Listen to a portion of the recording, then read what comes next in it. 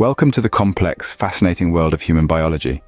Today we delve into the process of labor, a biological event that marks the end of pregnancy and the beginning of a new life.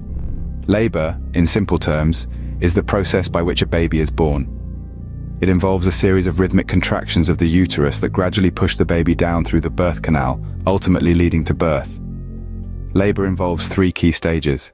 The first stage, also known as the latent and active phase, the second stage, often referred to as the pushing stage, and the third stage, commonly known as the placental stage. Each stage holds its unique characteristics, intricacies and methods of management. The first stage of labor, the longest stage, commences with the onset of regular contractions and ends when the cervix is completely dilated. This stage is further divided into two phases, the latent phase and the active phase.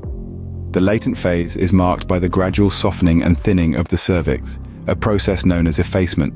The cervix also begins to dilate, opening up to about 3 centimeters.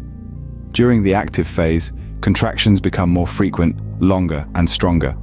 The cervix dilates from about 4 centimeters to a full 10 centimeters. Transitioning into the second stage of labor, the pushing stage, the cervix is fully dilated and it's time for the baby to be born. With each contraction, the mother pushes, helping the baby move down the birth canal. This stage ends with the birth of the baby. Finally, the third stage of labor, the placental stage, begins after the baby is born and ends with the delivery of the placenta. Contractions continue, albeit less intensely, helping to separate the placenta from the uterine wall and push it out of the body. Throughout labor, hormones play a crucial role. Oxytocin, often called the love hormone, triggers and regulates contractions. Prostaglandins soften the cervix and enhance the effect of oxytocin. Endorphins, the body's natural painkillers, help the mother manage the pain of labor. In summary, labor is a process divided into three stages the first stage with its latent and active phases, the second pushing stage, and the third placental stage. Each stage is characterized by specific events and is influenced by various hormones. The first stage prepares the body for birth through cervical changes. The second stage involves the active pushing and birth of the baby, and the third stage concludes with the delivery of the placenta.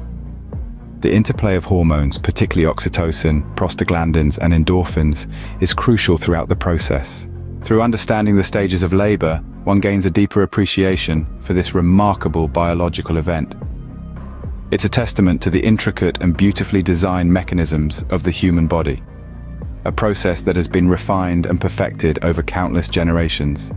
So the next time you hear about labor, remember the journey, the stages, and the hormones that make the miracle of birth possible.